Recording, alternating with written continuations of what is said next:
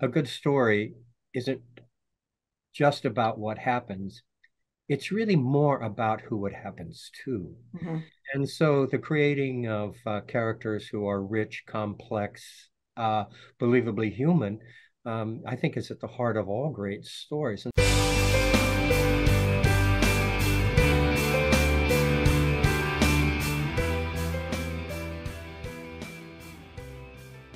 Welcome to our latest Bookreporter Talks to interview. Where Our guest today is William Kent Krueger. We're talking about a different project for him, a novella that is only available in audio format. I'm going to be talking a lot about novella, which is different for him, and audio, just being available in this format. Before we uh, have him uh, come on and speak with us, I'm going to share two terrific blurbs about The levee. Kim Michele Richardson, author of the book Woman of Troublesome Creek, calls it a masterwork riveting and unputdownable, with richly drawn characters set against the unforgiving backdrop of a raging river and the wrath of nature. Then Mary Alice Monroe, the author of the Beach House series, says William Kent Krueger is our generation's Steinbeck. He's in touch with the American soul and writes with understanding and compassion for the human condition. I could not agree with them more. And with those two quotes in mind, welcome, Kent it's always a pleasure to be with you, Carol. Thanks so much. So let's see, this is just something a little bit different for you to be doing. Let's talk about the levee just as a story unto itself. Let's talk about what the levee is about, and then we'll get into the other particulars. Sure. The levee takes place in the spring of 1927 uh, during the worst flood in our nation's history. Um, at that time, uh, that spring, the Mississippi River at Memphis was 80 miles wide. Um, the devastation was just uh, uh, enormous, um, unimaginable. And uh, my story concerns uh, four men, three of them are convicts who've been conscripted to risk their lives on the river in order to try to rescue a family they believe uh, to be trapped by the flood. And this is a piece that you started a while back. It's something that you had in the drawer. Like you, yeah. I love to be in Kent's drawer, just looking around. What's in the drawers over there? What what drew you to pull this one out and start working on it? What said? I, I the story's by grabbing me again. Yeah, let me uh, let me give you uh, the, sort of the history of it. I first uh, I gave my first shot at writing the levee uh, back in my twenties. I had just read Faulkner's The Old Man, uh, and the old man is is also about that enormous flood uh, uh, on the Mississippi River. Uh, it's about a guy, a convict, who is conscripted to try to save uh, a pregnant woman trapped by the flood. And uh, I really loved the conceit of the story, and I thought, well, let's see if I can give. I maybe I can do what Faulkner did. so I I gave a shot to writing a short story, The Levee, and wasn't happy with it, so I put it away. 20 years later, when I was taking a creative writing class at the University of Minnesota, I pulled that uh, story out again, dusted it off, got the dust bunnies away from it, and gave it another shot. The class and the instructor really liked the story, but their basic comment was there's a much richer tale to be told here. So I put it back in the drawer. Then the pandemic came along, and uh, I had this in, this very rich, productive period during the pandemic. I wrote a couple of, uh, uh, full novel manuscripts. Mm-hmm. Um, I wrote a couple of other novellas, and and then I didn't have any more ideas left. So I went back to that drawer, pulled out the levee, and uh, took a look at it, and and I thought, I think I know what to do with this now. So I completely rewrote the story into uh, the way it stands right now. I was really, really pleased with it. Um, so that's kind of the history of the levee. Aren't but you, you know, it's a novella. It's a novella. You, you saved it. Aren't you glad you saved it? You know? Oh, absolutely. You know, every writer knows you never throw anything away. but you know, it, but it is a novella. It is a novella, and a novella is a kind of a difficult uh, length piece to, mm-hmm. to, get published anywhere these days because the magazines that in the old days might have published a novella length piece just aren't around anymore. And you can't really put a novella up on the shelf with full sized books and expect it to do very well. So I wasn't sure that anything would ever happen with the novella until my publisher, Simon and Schuster, said, We've got an idea. It's a really terrific idea, too, because the book, the book, the story lends itself to audio so well. And we're going to get into that in, in, a little bit because hmm. I think that when you hear the story, this is the kind of story you can sit back And sometimes I think that people are looking to not look to listen to something that's book length. If somebody has not tried listening before, this is the one to jump in and try with because it's not going to consume days of driving and listening or walking around and gardening. It's going to be a shorter story for you to be able to enjoy in an audio format. I couldn't agree more. I couldn't agree more. It's a perfect length for you know heading out into the garden and uh, getting your garden ready for spring or whatever you're doing. And in Minnesota, getting out there and shoveling the walk, listening to the levee would be just fine. We're supposed to get snow tonight. It's sort of like waiting for Godot around here. It's like the snow. So every day they go, it's Central Park. We have not had this little snow in so many. I'm like, okay. I'd be happy to send you some of ours. Let me tell you. exactly. But I was saying to my husband, who you know, I said, do you think we should get the tractor out? Do you think, he says, Carol, it's to be three to six inches. It will be gone in two days. I am not making a production out of this. it's very funny. Very, very funny. So, you know, you wrote about the uh, flood and 1927 where the Mississippi flooded. And it's a story that I confess I did not really know about. When these little pieces of history come up, when these little kernels, is this something that you say, oh, that was a moment. I sh- could write about that moment and tell a story. Am I right on how you feel about it? You know, I think there are lots of moments in our history that are forgotten uh, that would uh, form the basis for fascinating stories, riveting, compelling stories. This simply happens to be one of them. Um, because I was not tremendously familiar with the details of the of the flood. I, um, you know, I did a lot of research, took a look at a lot of the uh, photos of the the devastation, which was just mind bending. Mm-hmm. Uh, and you know, I live in I live on the Mississippi River here in St. Paul, and I have seen the Mississippi River flood in in enormous ways across the 40 years I've been here. So I, I have a sense of what a river looks like, uh, and uh, and the presence of a river at, at flood levels. So I was able to take the historical stuff, the pictures, uh, the reading that I'd done about the flood, what my own um, experience with uh, big floods has been and use all of that to create the levee. You know you know you were first published when you were in your 40s and do you think that being published later gives you a different perspective on things? Because you see something one way when you're in your 20s one way when you're in your 30s and i feel like the perspective to help you edit your work because you've heard people talk about topics in their 20s 30s and 40s and how they change their perspective or enrich the perspective. Do you think that that has had something on the emotion that goes into your writing as well? Mine, you know, so many of the writers that I know didn't publish their first work until there was gray in their hair. Mm. That said, I know of a lot of really fine writers who began when they were a little more than babies, and their work is just phenomenal. I think you you know you come to it whenever you you are meant to come to it. Mm-hmm. But I do believe that life experience, uh, the more you have life experience, um, the more wisdom, uh, uh, insight you can bring to a piece of writing. The, I think the more depth you can give your characters because you've seen so many people across the course of your life and tried your, your best to understand them. So I, in the end, I guess I do agree with that. Yeah, I think that you get to know loss in different ways. You get to know um, you get to also know you may have been a parent. You may have seen what has happened with your own children by that point, where you have dreams and then what happens, and then how you have to change your expectations or whatever. Just different things come into your life of, I have this. If you sit down when you're 20 and you write down on a piece of paper, this is going to be my life. And then you see how your life completely changed from there.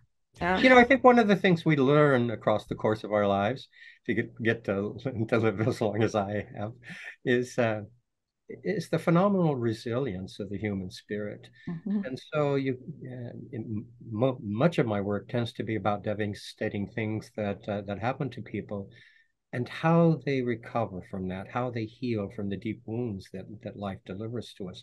And I'm not sure that you know that. You really have experienced that when you're when you're young you know it's with even few words you can see something about your characters the way you, i feel like I, I, see them drawn on a piece of paper. I feel like i could draw them as, as i'm sitting there.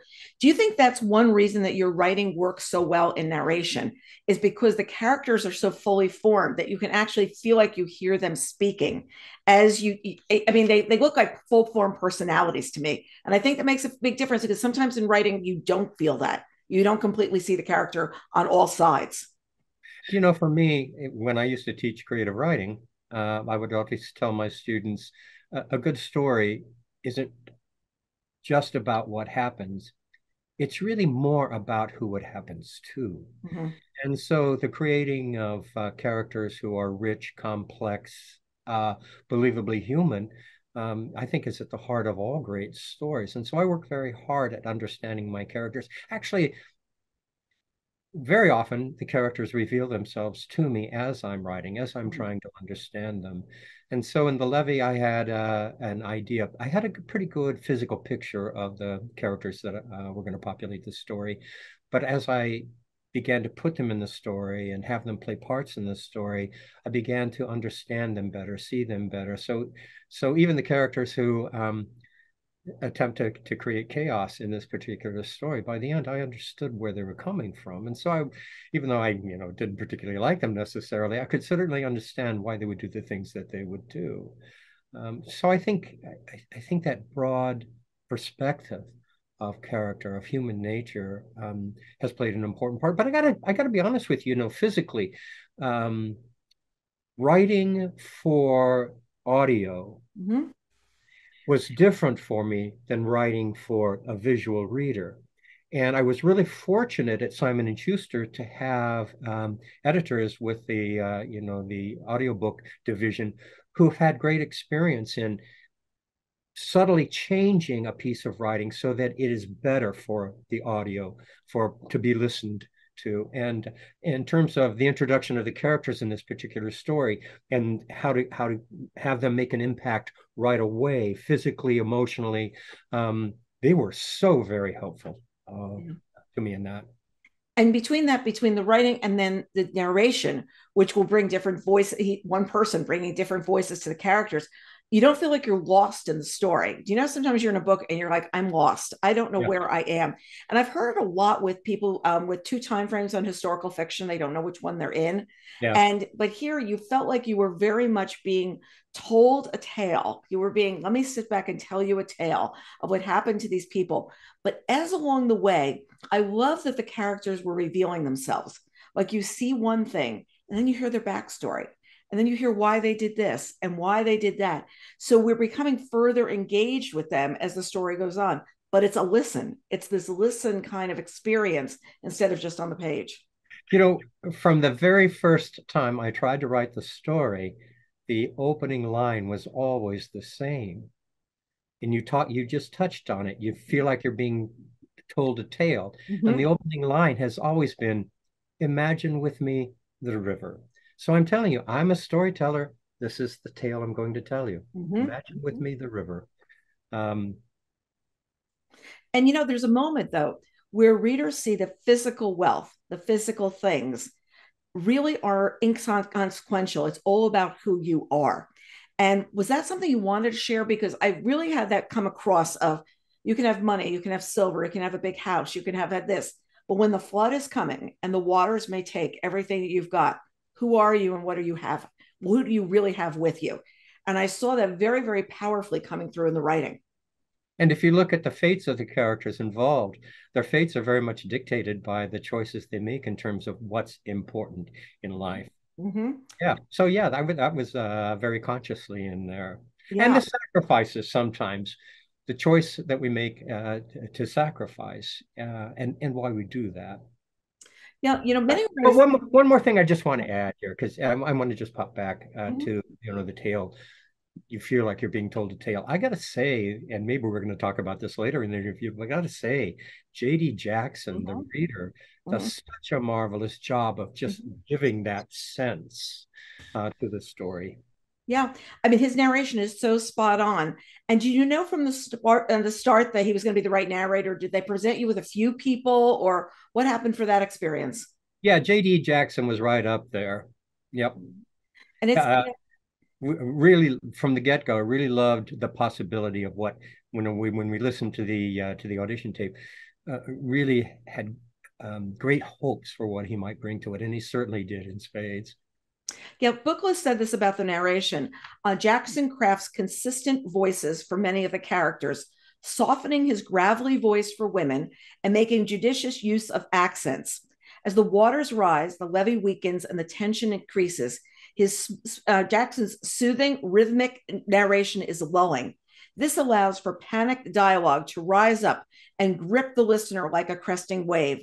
His voice creates a cocoon around the listener, like the levee itself, which seems protective but could mask danger. Ultimately, yeah, I think they nailed it. like completely, and it, it is what you feel like when you're there because you feel like you're on this levee with them. Even though I had to look up a picture of a levee, I will be honest, Kent.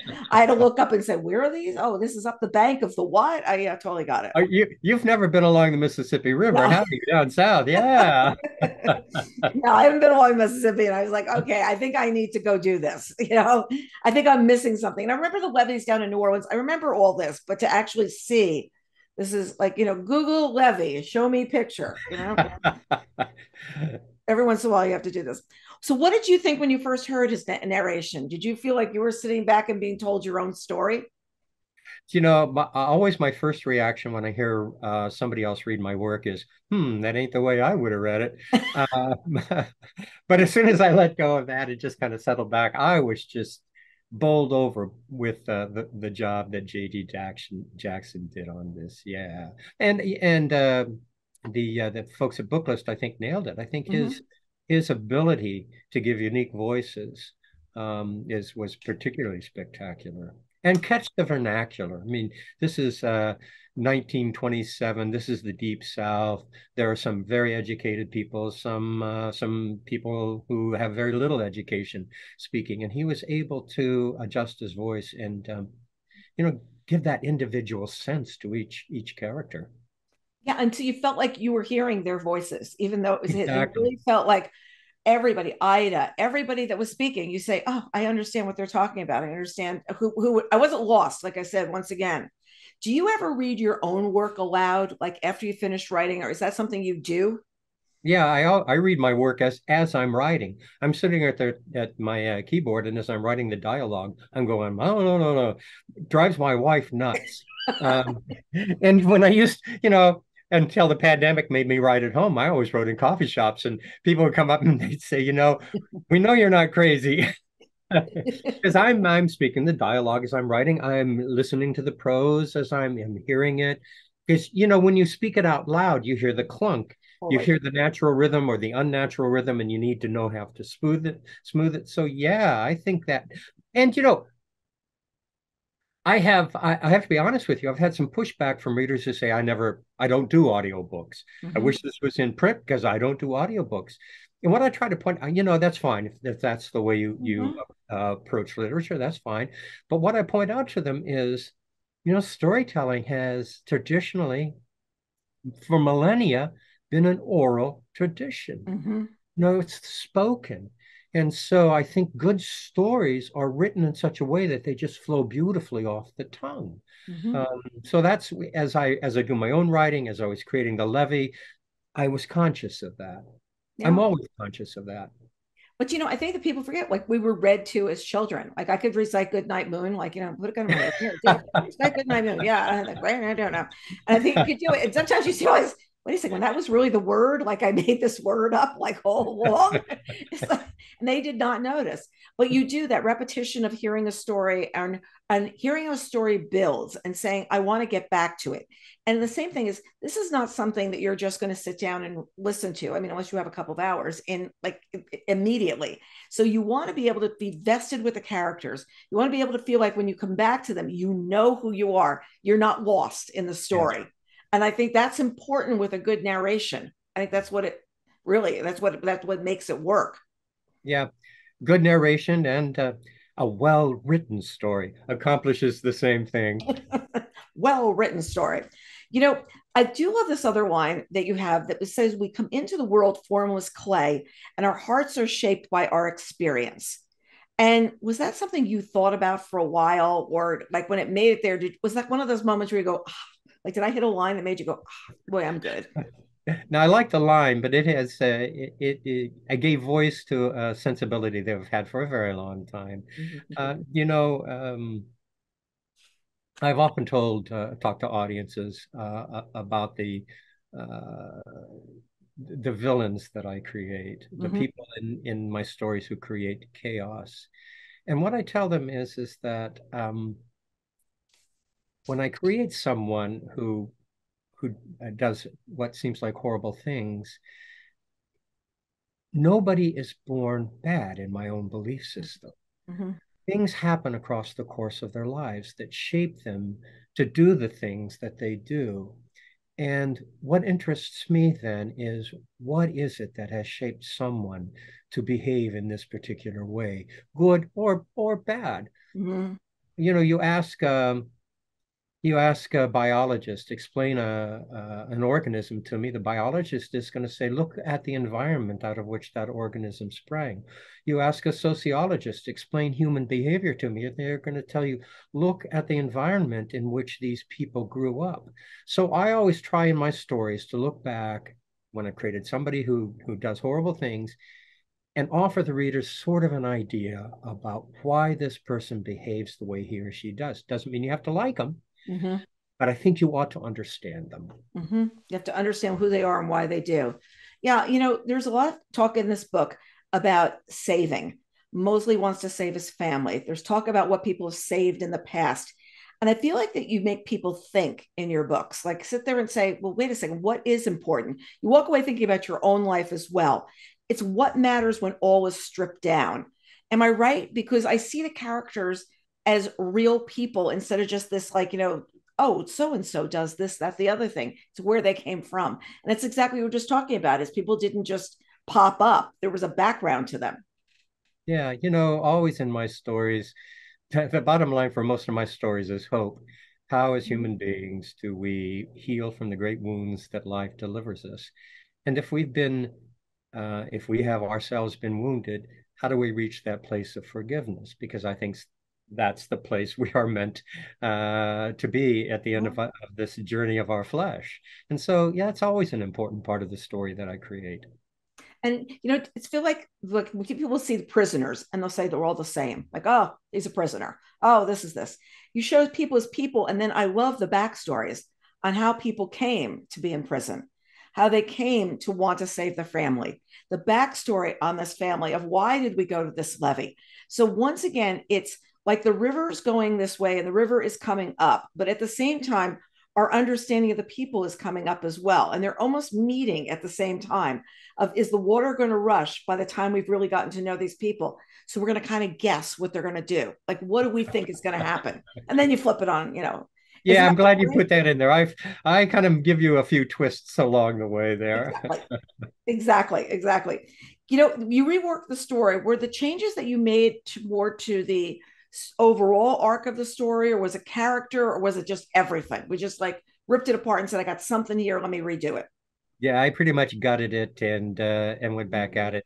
So the the characters that were in it uh um mosley um dobbs uh the kid um the people behind the levee they were all pretty they all pretty much played the same sorts of parts I had originally imagined for them. But there is one character who foments a great deal of um, of um, well, he's a problem, a problem yeah. troublemaker. Uh, I really rethought his character and the part he played enormously, and that what that part that change in the story helped me broaden the story in uh, both just in the richness of the storytelling, but also in terms of the suspense of the tale itself. Mm-hmm. And it, it's like a quick thing. It's like this happened, then this happened, and all of a sudden the story went this way. It was yeah. like we were heading in this direction and went whoosh, yeah. just like this. So here's a question. One of the things I've learned across now my my all my years as a storyteller that I didn't know when I was young and and uh, you know just starting out. So here's a question: What else is in the drawer? Like when you open that drawer, you go, hmm, "What else have I got in here right now? Hmm, I could play with that one again." Is there a big collection? Not a big collection, but you know, Carol, I have a book coming out this fall. Mm-hmm. I put away in the drawer. And you know the story behind yes. my putting away yes. in the drawer of that particular story. So when I come back on uh, and we're yeah, we'll do this again. invite me back we'll to talk about the river we remember. That's we can exactly. we can uh, tell everyone the story of how that ended up in the drawer and why I pulled it back out. Yeah, you know, and it's a, there moments where something has to go away. It's like just not the moment the moment to be doing it or whatever and then it's it's something you hold on to. I mean, I had this creative writing class I, that I took when I was in college. The same professor a couple of times. I really love the professor. So I took the same class a couple of times, and it was always this girl driving from Washington to New York was the start of the story. And I walked into his class for I think the film writing class, and he looked at me and goes, "The girl is not going from Washington to New York. I need something else." I just sat there. I was like, "Come on, it's so good." I literally played through it through three semesters of classes, and I felt like it got better as time went on. But I have it in a little box over here, and I am so tempted to pull it out and say, "Can I do something with that now?" Based on reading people like William Kent Krueger all this time, all these years, I think I can make it better.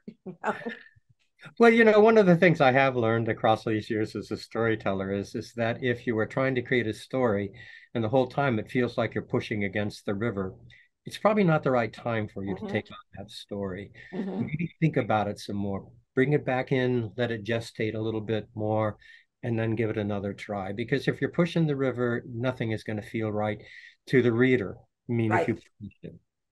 Right. And, and all I was thinking is it was the opener was always she was driving up and the windshield wipers were washing the rain the way she was washing away her tears. Okay. It was like pretty, it was pretty low bar here. It was really pretty low bar. I mean, I can but understand. As I said, as I said initially, never throw anything away. No, no, there's little box, and I found the boxes recently, and I'm like, maybe I should relook at this. You know, given my experience of working doing Bookreporter for 27 years, maybe you learned something about writing, Carol. You know, but I wouldn't have five minutes to be doing that because I much more spend time, you know, speaking with people like you.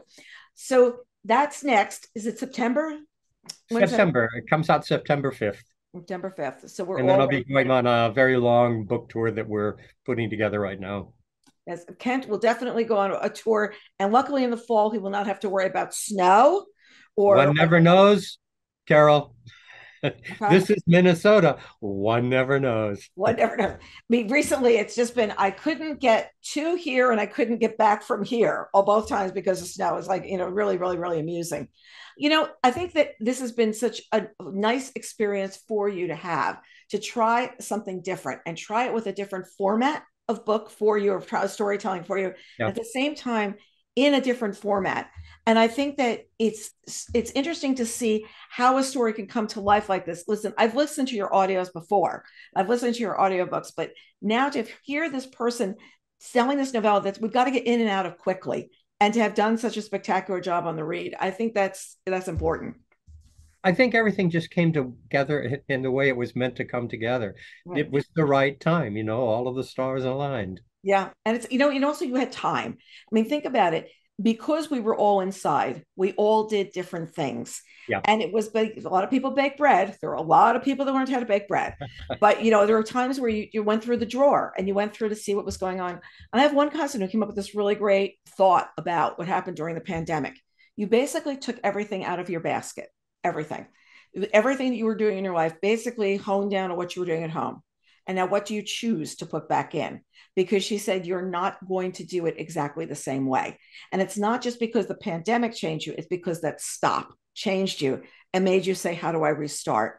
And it's interesting to see that something for you that was, you know, as, as tough a time as that brought something in a different format being published, in a different way being published and it was like this exploration that may never have happened. You may have just sat there and said, I'm going to do the book a year. It's either going to be a Cork book, it's going to be a standalone. And this was a chance to do a different expression. And I think her wine really works of what went in the basket because might not have been thinking about audio, might not have been thinking about a novella. I really love that analogy. I think, and I think it's perfect. Yeah. Because, you know, it's true. If I'd gone along the way I have been going along the way my my life and my routine routine had been established, I probably wouldn't have pulled out the levee mm-hmm. and another shot. So I'm really happy. You know, the the pandemic was really a horrific thing, uh, but what I try to look at is okay, what are the good things that came mm-hmm. from the pandemic? And I think that's one of the good things. We all did a lot of reassessment of our lives and our priorities. Mm-hmm. Family matters. These things matter. What matters, and pull those things to the forefront. And a lot yeah. of other stuff can just drift away. Yeah. yeah. it was a great line when she said that to me. I was like, "Ooh, Marianne, that's a great line. I'm holding on to that one." You know? Yeah, and and and things change too because like I used to go to yoga, and they had a class at eight o'clock at night, another one at seven thirty. They don't have those classes anymore, so I'm not going because those were the times that worked for me. Even though I, am working home now, I could go at six o'clock. That's not what I would want to do. And unless those are, re- and it's really funny, these little tiny things. And I would go six days a week. And now it's like zero, you know. has, there, has there been something, though, that replaced the yoga? Um, a lot of working, a lot of, okay. you know what, we're doing a lot more of these interviews. We're doing a lot more programming, and I've been reading a lot for those. Um, I would say family time has replaced yeah. it having dinner, not going into New York and having dinner at six o'clock has totally changed. And I also never realized, and it's like a storytelling kind of thing. My husband said, I always feared when you were coming home at night, I'm in a storm, snowstorm or a rainstorm, and I don't need to worry about that anymore. And it was that kind of a thing where, like, like your storytelling here, you never knew that mattered to somebody. But he said, You'd always stay till the end. I tell you to come home and the roads are going to be bad, and you do that. And he goes, and that whole worry thing went away. And now we have like dinner at a normal time and we could eat together. And I'm sitting there going, wow, that was a lot of years of not doing that. It was a yeah. lot of years, you know? Yeah. And yeah. you sit and say, oh, now I can. Yeah. Now you've discovered it's not too late. Not too late. It's not too late at all. Well, meanwhile, I am looking forward to our readers. I want to hear feedback when you listen to the audiobook. I want to hear what you think about it. You can jump on the YouTube page or jump on the um, page where we do let's do our podcast and talk to me or send a note to me because I'm very, very interested to see what people are going to think. And if you've never tried an audiobook, this is where I want you to try simply because Kent is a good storyteller. It's a great, you know, it's a great experience. And like I said, it's not going to have to invest 16 hours into it. And you're going to have a very rewarding experience. So I expect to hear reports back. And Kent, I expect to see you in September and we'll talk about your next work. I can't wait. It's a date. It's a date. Thank you so much for joining us. And to our readers, look forward to seeing you next time on Bookreporter Talks to Interview. Remember, you can subscribe on YouTube or listen to us wherever you get your podcasts. Thanks so much, everybody.